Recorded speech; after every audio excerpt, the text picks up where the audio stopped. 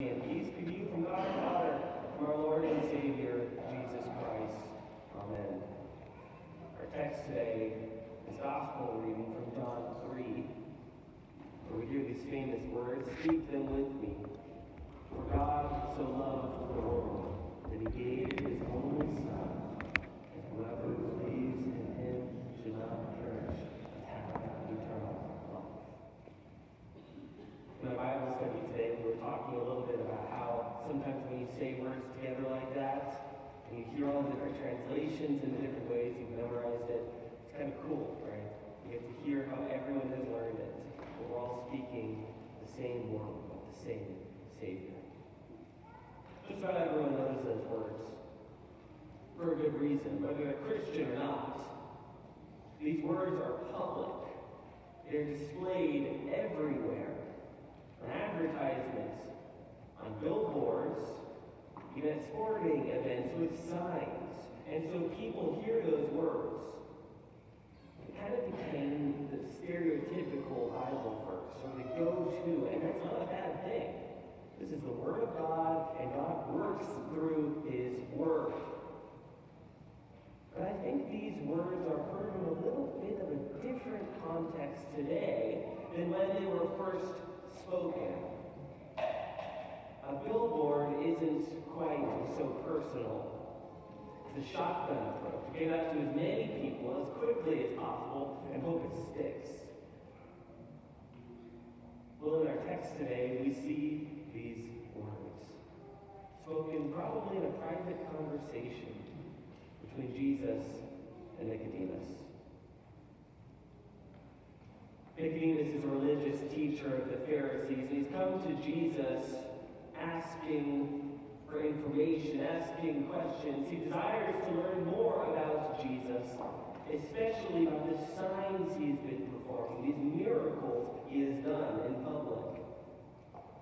See, word has gotten out that this Jesus can do things that you and I can't.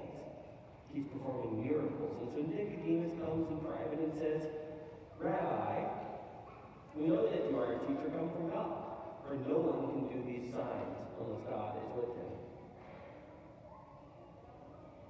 See, Nicodemus knows about Jesus. The problem is knowing and even seeing isn't enough. It takes more than to just witness a miracle to enter the kingdom of heaven. Jesus says this Unless one is born again, he cannot see the kingdom of God. Nicodemus struggled to understand that. He was thinking as one born of the flesh. That which is born of the flesh flesh, and that which is born of the spirit is spirit. So what does Jesus do with this teacher of the Jews? It's clever. He sends him back to the scriptures, to the Torah, to a passage he would have been very familiar with. And he makes a profound connection between that Old Testament passage and a sign to come. What would become the greatest sign of all that would happen in public, displayed before all to see. Verse 14 says, And as Moses lifted up the serpent in the wilderness, so must the Son of Man be lifted up. Jesus takes him back to Numbers 21 to this event in the Old Testament that Nicodemus would have been very familiar with. Israel had been delivered from Egypt, this mighty act, this hand of God. And they begin to complain. Classic. Why deliver us from that just to leave us here to die? They doubted Moses and they doubted God. And so God responded, as always, with some judgment in order to bring them back. A judgment of serpents in this case. People died from that judgment. But God gave them salvation, deliverance from that judgment. He had Moses fasten a bronze serpent, place it high for all to see, so that when they looked upon that serpent, which was a sign of death, the very thing killing them, they looked upon that serpent and they see their life and they see their salvation there. They receive from it. In Hebrew, that serpent that was lifted up was called a standard. It was lifted up on a standard. A standard like a banner. Something that's lifted up for all to see. Something you can't miss. It draws your attention. A standard. Not just a pole, it's more than that. I thought that was cool. And then I read a little bit deeper and it got better. I love when that happens. I took a look at the Septuagint, which is the Greek translation of that Old Testament text. And the Septuagint calls that standard a sign. Same word, miracle. The sign or the miracle of the serpent. The same word used to describe Jesus' miracles.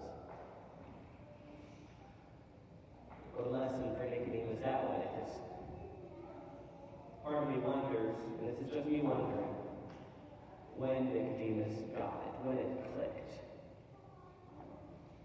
Later on, when Jesus was on trial before his crucifixion, Nicodemus asked religious leaders whether Jesus had received a fair hearing. And then after Jesus' crucifixion, after his death, Nicodemus brought 75 pounds of spices for his life. That would have been expensive. And that tells me that he knows what happened to Jesus. And so I have to wonder that as Jesus was crucified, these words were ringing in his ears. So must the Son of Man be lifted up.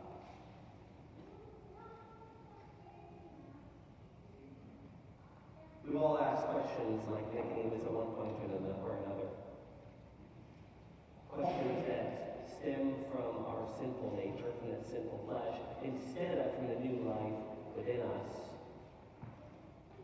Seem natural to our sinful nature really isn't natural. There's something wrong with us, something missing from us. That's why we must be born again. We're not born again.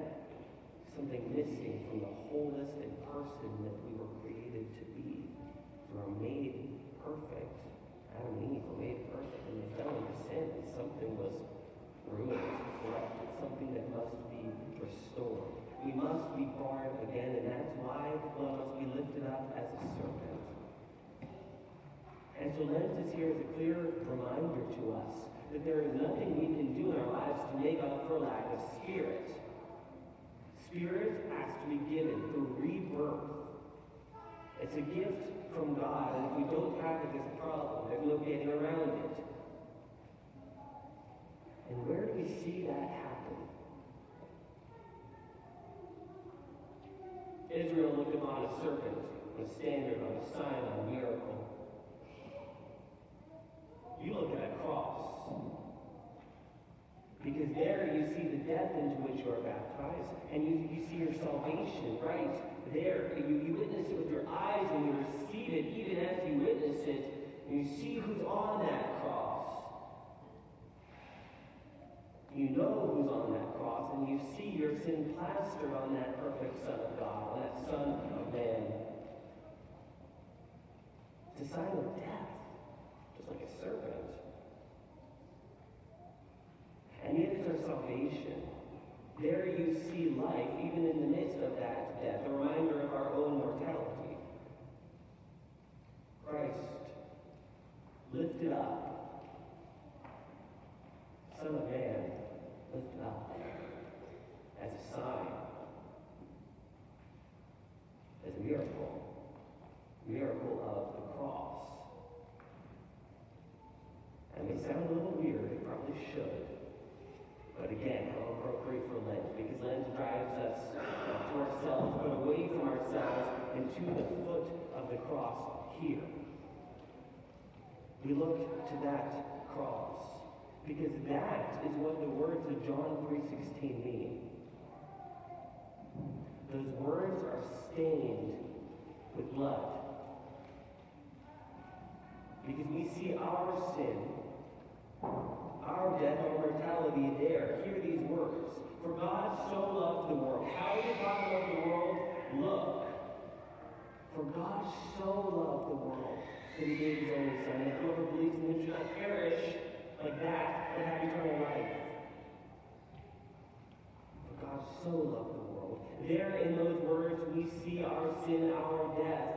And we know who they're on. Because we know who's on that cross. It's Jesus.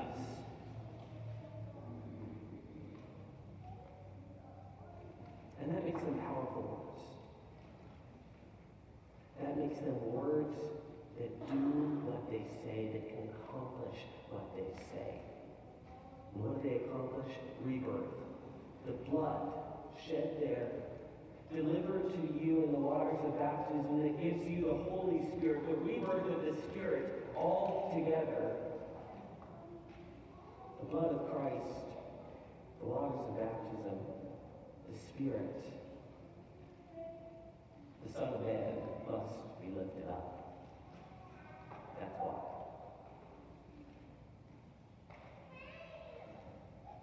In our English Bibles, there are often these titles throughout the text, and they can be very helpful in reading.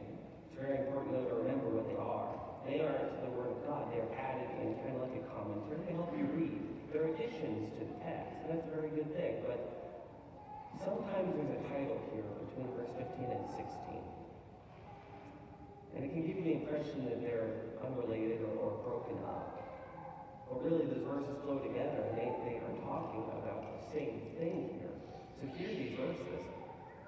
And as Moses lifted up the serpent in the wilderness, so must the Son of Man be lifted up, that whoever believes in him may have eternal life. For God so loved the world that he gave his only Son, that whoever believes in him should not perish, but have eternal life. The Son of Man must be lifted up. That's how John 3.16 is possible. That's why it's true for you. That's why it's your reality. And that's why we look upon the cross. Look there. And look who's on it. And look what he's carrying. Look how he became your sin. Look how all of your sin is on him. And be sure that it's on him. Because when you see it and when you witness that, you know that if they are on him, it's not on you. You see it on Christ. Because he took them. The Son of Man must be lifted up. And when he did that, he gives you the new birth that stumped Nicodemus here. The new birth that comes through the gift of faith, that comes through baptismal waters, that connect us to his death and his resurrection. You are reborn. Brothers and sisters, Jesus works in many ways. In his earthly ministry before his ascension, he worked in public, he worked in private, in private relationships, in conversation. There was a time and place for both. He's commissioned his church, and those are reborn and empowered you to go out and to continue reaching. He is doing it through